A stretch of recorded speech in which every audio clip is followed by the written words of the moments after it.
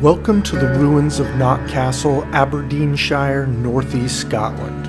Knock Castle is a four story ruin dating from approximately 1600. It is the ancestral seat of Lady Krisztina de Varga of Knock. The rectangular tower measures about 27 feet, 8.2 meters by 22 feet, 6.7 meters, with walls about 4 feet, 1.2 meters thick. The external walls of the tower survive intact, although the tower is roofless. The inside of the tower is entirely ruined, but the remains of a vaulted basement used as a kitchen and a spiral turnpike staircase can still be seen. At the top of the stair is a gabled cap house.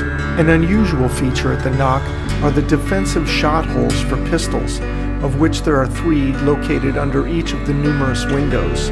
Knock Castle was granted to the Gordons of Abergeldie by the 4th Earl of Huntly after the Battle of Corrichie, fought on 28 October 1562. The Gordons were defeated by the forces of Mary, Queen of Scots, during her suppression of the rebellious Huntly. A feud between the neighboring clan, the Forbes, intensified when Henry Gordon, the second Laird of Knock, was murdered during a raid by the Forbes and Clan Chattan men in 1562.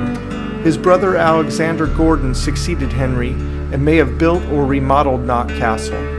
It is said that one day, when Alexander sent his seven sons out to cut peat for the winter store, the brothers strayed onto the Forbes clan lands, when after several hours cutting were discovered by the Forbes and his men. A battle ensued, by the end of which all the brothers were killed.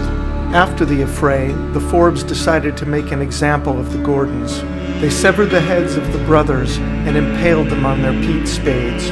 After a while, concerned about the whereabouts of his sons, the laird sent one of his servants with a meal for the boys to look for them. When the boys' heads were discovered by the servant, distraught, ran back to Knock with the news of what had transpired that day. Upon hearing the news, Alexander Gordon collapsed at the top of the turnpike stair and tumbled to his death.